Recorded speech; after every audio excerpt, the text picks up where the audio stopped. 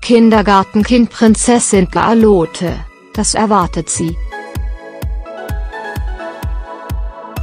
Wie schnell doch die Zeit vergeht. Schon im Mai wird Prinzessin Galote süße drei Jahre alt.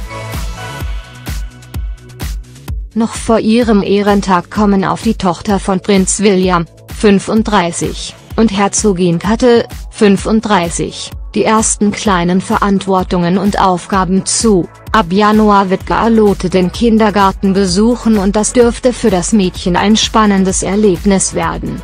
Wie die Dalma jetzt berichtet, wird die Schwester von Prinz George, 4, ab 2018 in die Wilcox Noisy Schule gehen.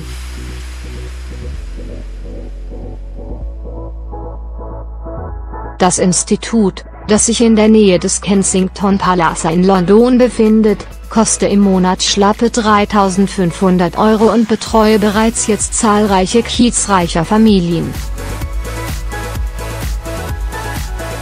In der Tagesstätte werden die Sprösslinge in Kleingruppen mit niedlichen Vogelnamen eingeteilt und von Tanz, Musik, Sprach- und Sportlehrern unter die Fittiche genommen.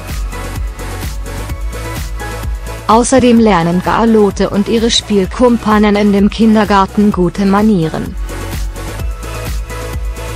Für ihre Leistungen werden die Knirpse sogar bewertet.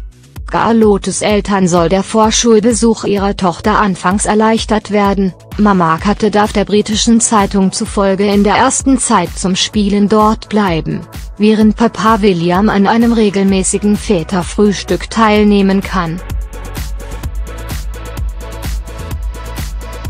Auch ein der Mini-Prinzessin bekanntes Gesicht ist im Kindergarten bereits vertreten, ihre Uroma Queen Elisabeth. 91, hängt angeblich als Porträt an der Wand.